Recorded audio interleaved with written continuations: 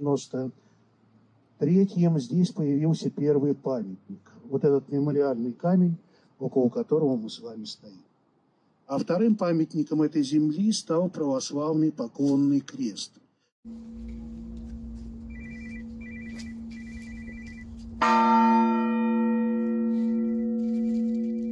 Сказать, что все, что мы сейчас делаем, во всяком стараемся делать, в том числе и сегодняшняя наша поездка по этим трагическим памятным местам, э, мы делаем для того, чтобы даже не сохранить, а вернуть э, в нашу жизнь уважение к человеку.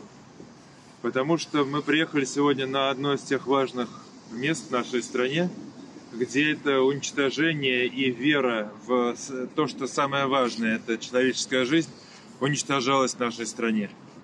И сделано это было, к большому сожалению, довольно успешно.